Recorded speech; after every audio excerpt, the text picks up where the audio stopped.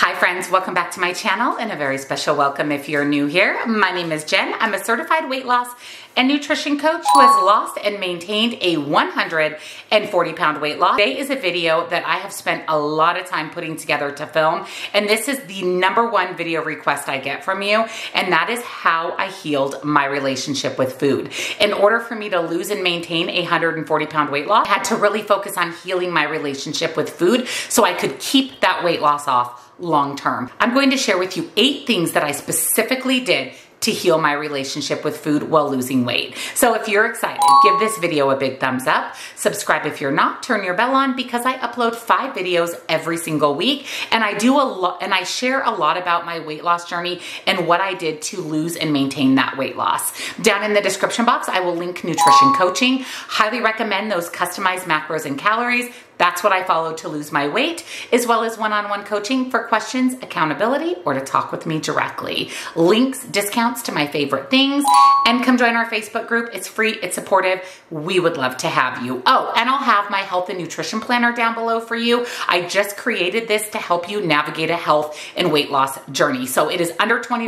It's fully customizable. It's perpetual, so you can use it year after year, and all of the proceeds go to support Lola, my little girl right there, and her continued chemotherapy treatments for lymphoma, lymphoma cancer. So thank you in advance for your support and thank you to everybody who said they love the planner. I love it equally as much. I've been using it every day since I created it. So without further ado, let's talk about how I healed my relationship with food.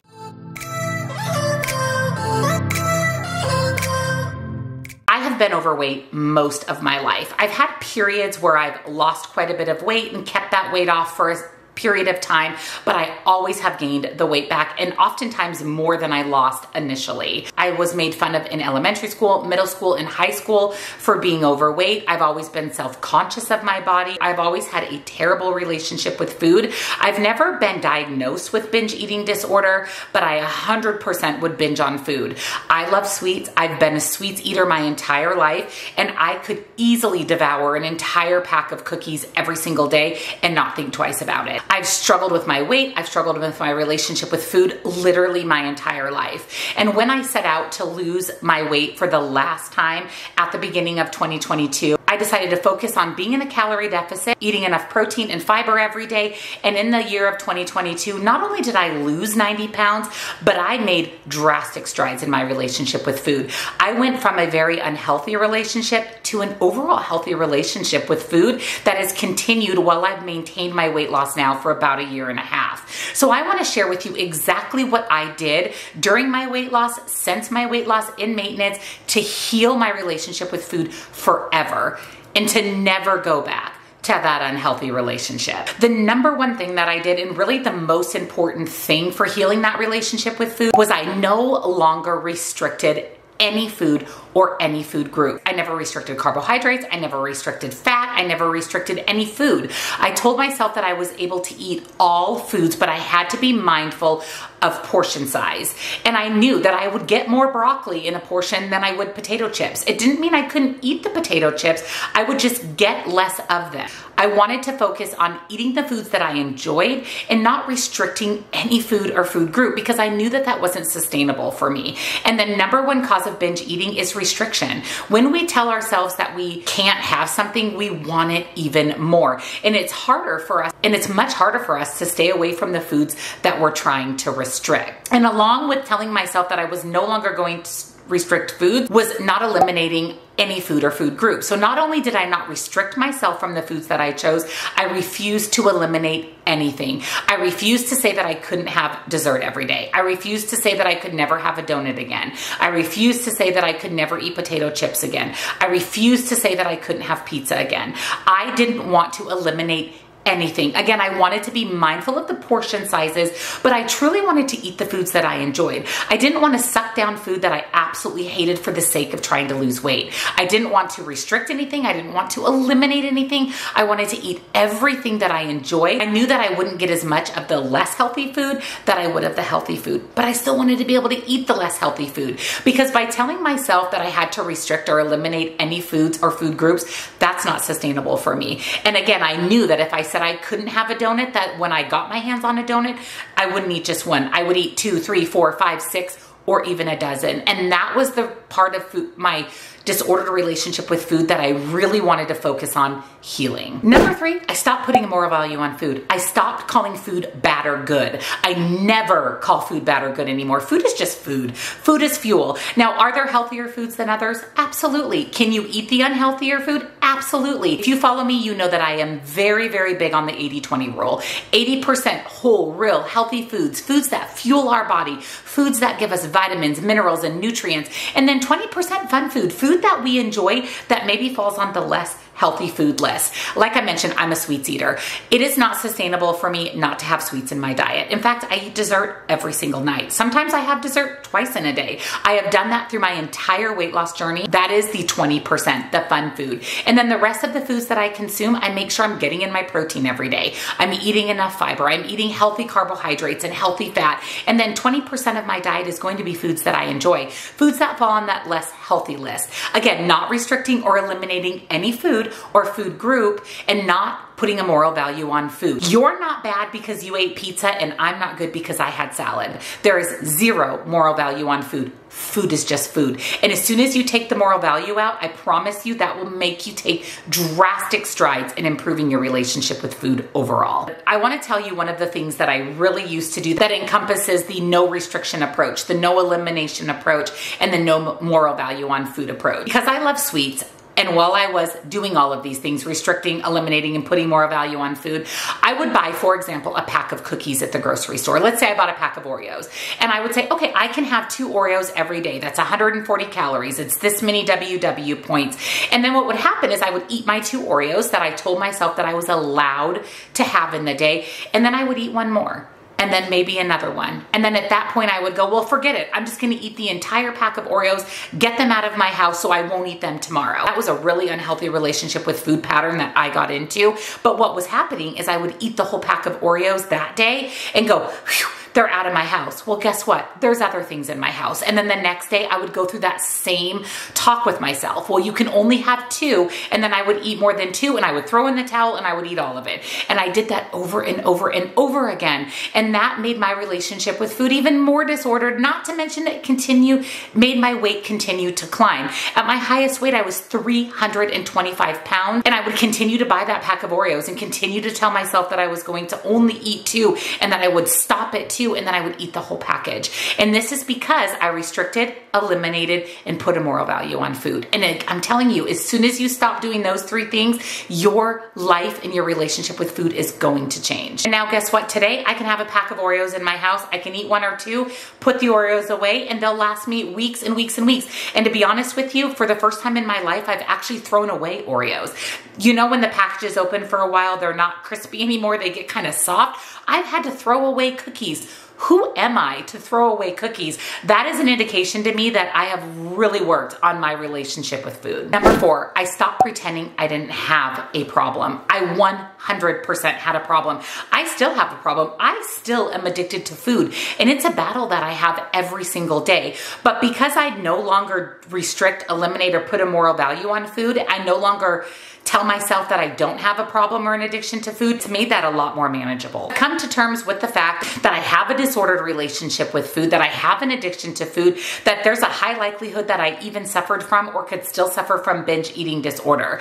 I have had a heart to heart with myself and I stopped saying I didn't have a problem. And I recognize that I absolutely have a problem. And when we figure out that there's something in our life that we need to work on, we start thinking about the steps that we need to take to resolve that. And that's exactly what I did. I stopped saying I didn't have a problem and I started focusing on solving that problem. And that's what led to one through three to stop restricting, eliminating, and putting a moral value on food and recognizing that I do have an issue with food and learning how to navigate that issue and correcting it for the future. And that leads me to number five, and this is a huge one. I stopped being preoccupied with food. I stopped thinking about food all the time. The food noise drastically decreased. Now, a couple of years ago, gosh, I think it's been a couple of years. I'll find the video and link it for you.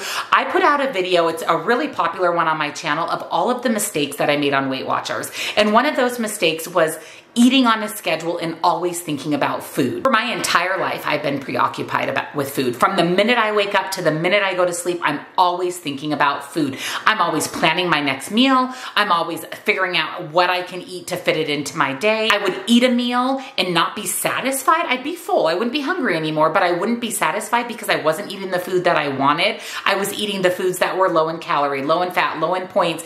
And all I would think about from the minute I stopped eating to the next snack or meal was what I was going to eat. Food was always on my brain. The food noise was always, always there. I don't think about food until I'm actually hungry. Now, I do plan my meals. I do make sure that I eat enough protein every day. So there is a part of me that is planning my food and my meals throughout the day. But once I've eaten a meal, now today, I don't think about food until I'm physically hungry again. I'm in the reason for that and the one thing that I did differently is I started eating the foods that I enjoyed. Even though I was trying to lose weight, I started eating foods that I really, really liked and foods that made me satisfied after I ate them. And as soon as I did that, I stopped thinking about food all the time. I stopped thinking about all the food I couldn't have, all the food I was restricting, all the food I was eliminating, and I ate the foods that I enjoyed. I ate a portion of them. I ate until I was satisfied. And then, like I said, when I would think about food the next time was when I started to be hungry again. And with this, I stopped eating on a schedule. I stopped eating breakfast at 8, lunch at 12, snack at 2.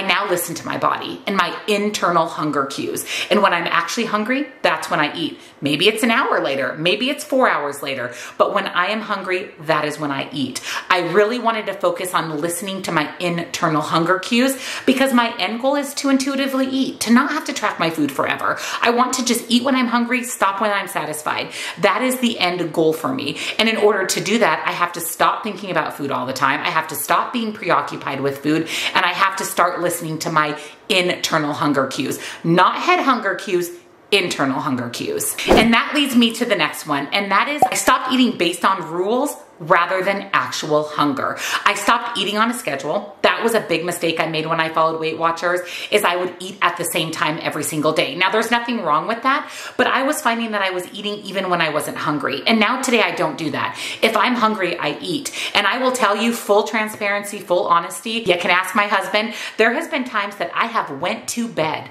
and gotten up to get a snack because I'm actually hungry. Maybe it's a cheese stick, maybe it's a piece of fruit, maybe it's some crackers, but I have gotten up out of bed when I went to bed because I'm hungry. It is that important for me to stop eating on a schedule, to stop following any rules relating to food because there are no rules around food. There's no good or bad foods. There's no rules around food. And I really started focusing on when I was actually hungry and fueling my body with the foods that would make me feel satisfied. The foods that I knew nourished my body, the foods that I enjoyed, the foods that tasted good. And instead of eating based on rules or time schedules, I started eating based on hunger and that absolutely changed changed the game for me. I also stopped using food to deal with emotion, to cope with life, to cope with stress, to cope with sadness, to cope with anxiety and boredom.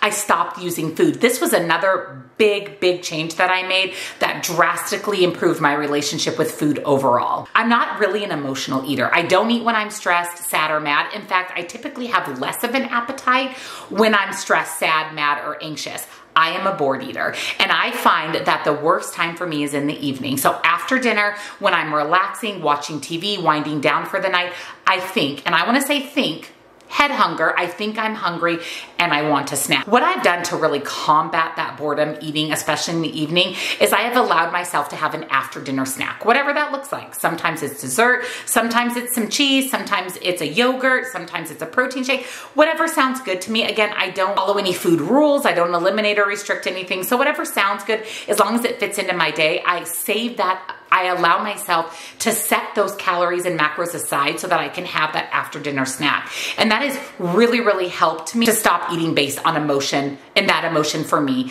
is boredom. There are some easy, easy things that you can do when you're feeling like you're eating simply based on head hunger, not actual internal hunger. Find something else to do. Get up and walk around your house. Go get the mail. Take a walk. If it's after dinner and you just think you need to eat something, go take a walk. The act of doing something else will take your mind mind off of the food. Now, if you're actually hungry, eat eat something. If your body is telling you that it needs nutrition, then you need to be fueling your body with nutrition. But if it's all up here, if it's because you're sad, stressed, anxiety, you have anxiety, you're bored, find something else to do. Now, this may seem counterproductive, but this is what works for me. And we're all different. So this may not work for you, but I find if I scroll on my phone, it takes my mind off of the hunger. So for me, that's watching TikTok because it's short form content. So I'm constantly scrolling or maybe I'm watching reels on Instagram. If I'm watching a YouTube video or TV, that's more longer form content. And that's when my mind starts to wander towards food. And when that happens, I switch over to something that I actually have to physically scroll because the act of moving my fingers and focusing on that short form content takes my mind off of food. And honestly, this really works for me. So you have to find what works for you, but stop using food to deal with emotions because all it does is give you instant gratification and and while you're eating, it takes your mind off of the emotion, but then you go right back to feeling those emotions and sometimes even other emotions. And one of those main other emotions that you'll get from eating based solely on emotion is guilt. And that is the last thing that I did to stop healing my relationship with food. And that is to stop feeling guilty, So stop beating myself up when I go off plan or eat something I'm not supposed to. I stopped having guilt around food because remember, food has no moral value. It's not bad, it's not good. You're not good because you ate healthy. I'm not bad because I ate unhealthy. There is zero moral value on food, so there is zero reason to feel guilty about the foods that you're eating. And when we feel guilty, when we beat ourselves up for eating certain foods, it makes us feel bad about ourselves. And oftentimes, that is an emotion that can lead to eating more food that sabotages our weight loss and health goals. So stop feeling guilty. There's no moral value on food. If you eat something off plan, if you eat a little less healthy food, that's okay. And instead of feeling guilty when these life situations happen, move on from them. The next meal or snack, get back on track. The next day, get back on track. Stop beating yourself up and feeling guilty because all that's going to do further consuming those unhealthy foods and eating based on emotion, not actual hunger. Like I said, our ultimate goal is to intuitively eat. When we were children, we intuitively ate. People who don't have an unhealthy relationship with food, people who don't have a weight issue, they intuitively eat. My husband is an intuitive eater. He eats when he's hungry, he stops when he's satisfied. He very, very rarely finishes a meal meal. He doesn't binge on food. He doesn't eat an entire bag of chips in a day. He eats a small amount of chips. And when he's satisfied, he stops eating.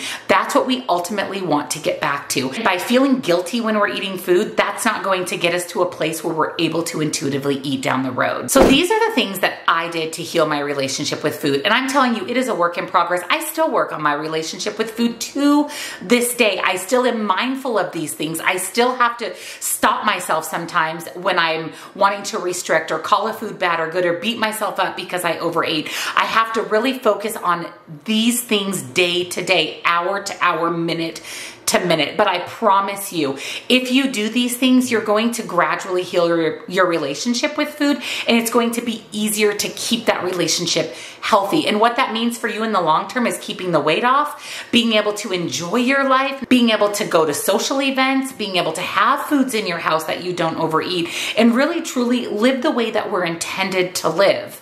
And being able to eat the foods that we enjoy, watching our portions, and just feeling really good about our overall health and weight loss loss journey. Healing your relationship with food will come naturally as you lose weight if what you're doing to lose weight, to lose fat is healthy and is sustainable long term. That was counting calories and macros. That is something that I was able I was able to lose all of my weight and maintain my weight loss.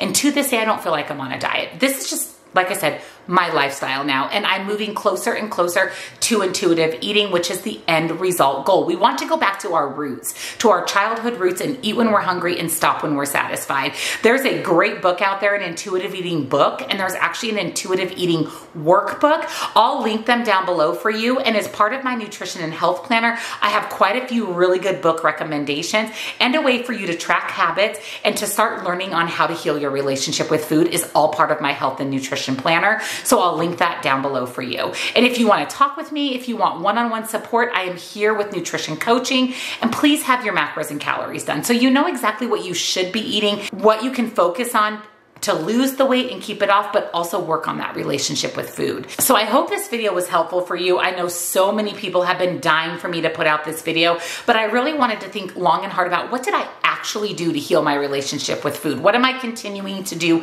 every single day? And these eight things are the are exactly what I did step by step. So I really, really hope that this helps you. Let me know down below which one of these you really want to focus on and you can do it. If I can do it, you can do it. I promise you, you can not only lose the weight and keep it off, but you can have a healthy relationship with food. I promise. I promise you can do it. So thank you so much for watching and I will see you in the next one. Bye.